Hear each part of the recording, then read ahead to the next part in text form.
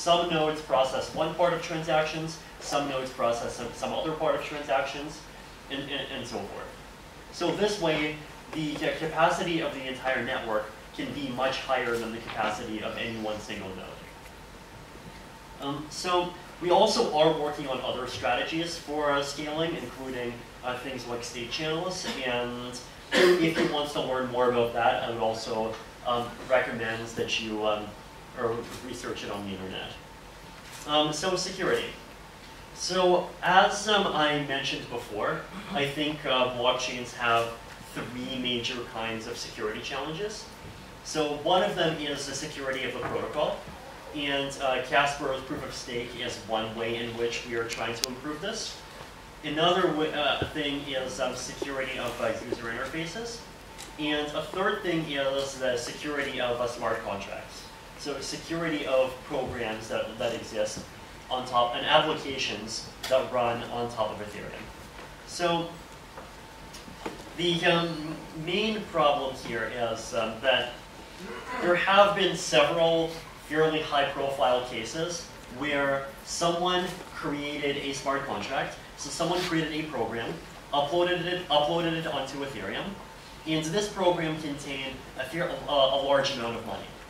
But because the, the code in the program had a bug, so the code in the program had an error in it, someone, a, a hacker was able to, act, to, uh, to access the program and, even, and withdraw all of the money and steal the money for themselves. So this, is, this um, has happened several times now. So the first major incident was uh, something called the DAO. Um, there was one that happened more recently, which was the uh, Parity wallet hack. And these are, these, so this, this shows that this is one of the major problems that has to be resolved if we want to have secure smart contracts.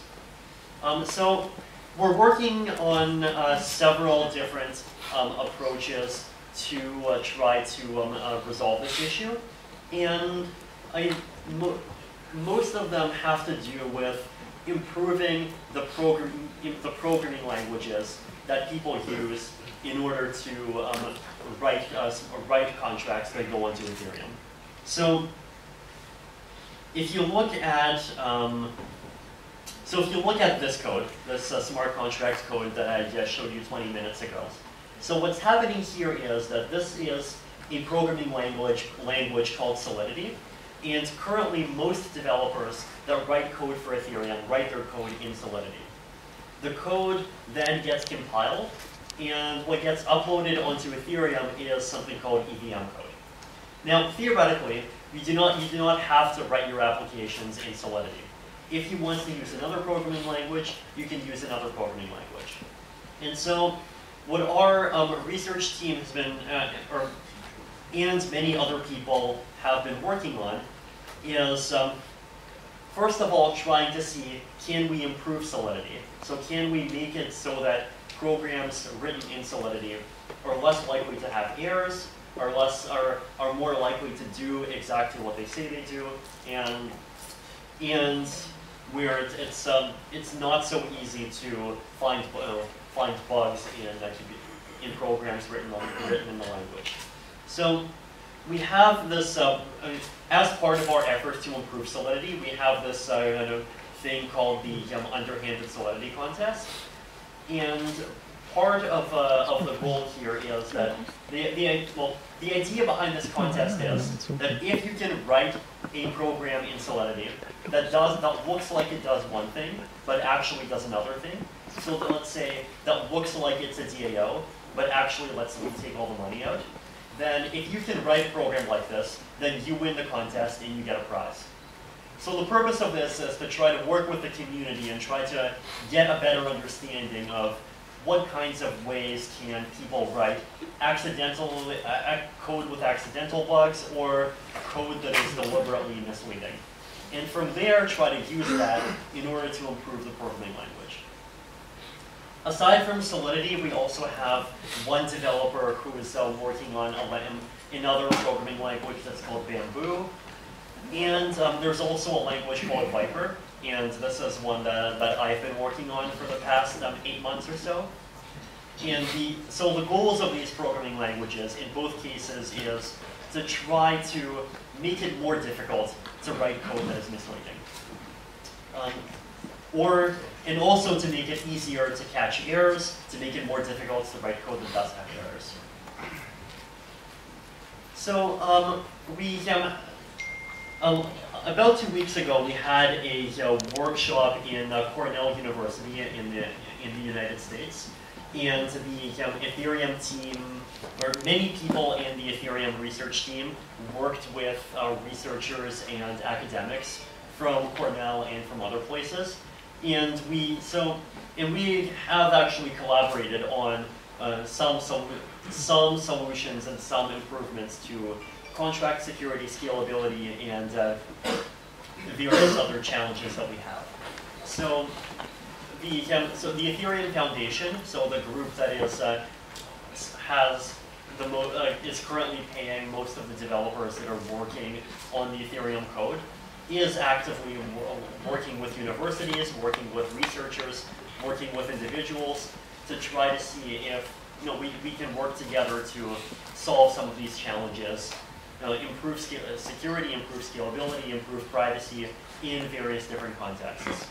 And from, um, from our work and from some of these collaborations, there already have been um, a, a, quite a lot of results, and we expect to see more results in the future. Um, so if um, anyone here is um, interested in just learning more about, uh, about Ethereum or uh, trying to get into Ethereum as a developer, then I would recommend to start off, look at these two websites. So look at ethereum.org. And um, ethereum.org contains some tutorials, some kind of guides that you can follow um, in order to learn how to write a smart contract, how to upload it, how to build an application.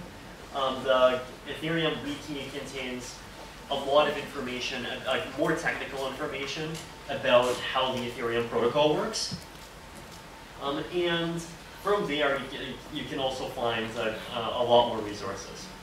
So if uh, you're if people here are interested in creating a startup that uh, does something on top of Ethereum, then you are going to need developers. And developers, in general, I would say it's actually not that difficult for an existing programmer to become an Ethereum application developer. I mean, we have deliberately tried to make the experience of writing smart contracts feel very similar to writing existing programs. Um, the, now, if you want to become an Ethereum core protocol developer, so work on scalability and security challenges of the Ethereum protocol, then this is much harder because this is still a very new field and the number of people that, under, that really understand all of the challenges involved is still very small, but it is also possible. And if anyone here wants to work with the Ethereum research team, then we're hiring too, and we're looking for volunteers too. Um, I mean, otherwise, I would uh, I also definitely recommend uh, looking at and, and uh, working for uh, any of these Ethereum projects. So I would say, like, in general, right, if um, there there are many different sides to the Ethereum community, and there are people who are involved in Ethereum because they're interested in the technology. There are people who wants to build things on top of it. There are uh, people who, want, uh, who wants to do research around it to try to understand what kinds of things can be built on top of it. And so it, and the blockchain space is you know, even after nine years, I would say still a young and still a, uh, a rapidly growing space, and there are many different ways to participate. So, thank you. Thank you.